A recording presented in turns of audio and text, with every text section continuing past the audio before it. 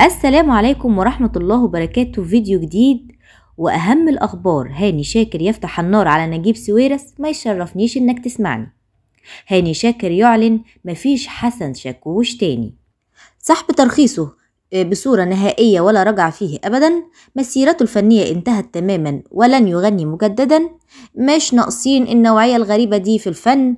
ما يصحش أطلع أغني أغنية إباحية على المسرح. قال الفنان هاني شاكر أن مطربين مهرجانات ممنوعون من الغناء في حفلات أو على المسرح أو في الإعلانات أو أي برنامج داخل مصر ولكنه من الممكن أن يغنوا خارج مصر أو على اليوتيوب.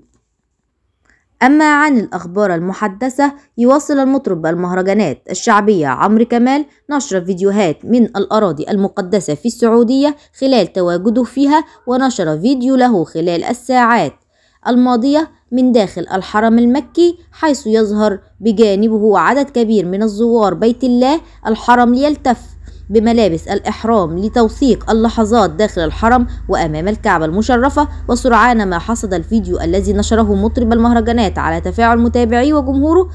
وسبق أن نشر عمرو كمال عبر حسابه على إنستجرام صورة له بملابس الإحرام من أمام الكعبة المشرفة بالحرم المكي.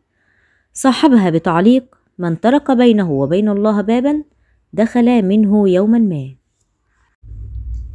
حمو بيكا بطل أزمات مطربين المهرجانات.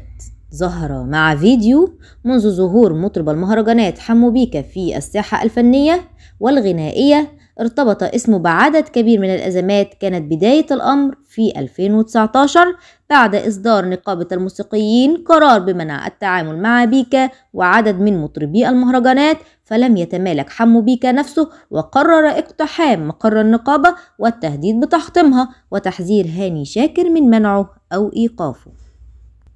حلمي عبد الباقي كلنا مع هاني شاكر والوطن العربي اجتمع على احترامه وتقديره.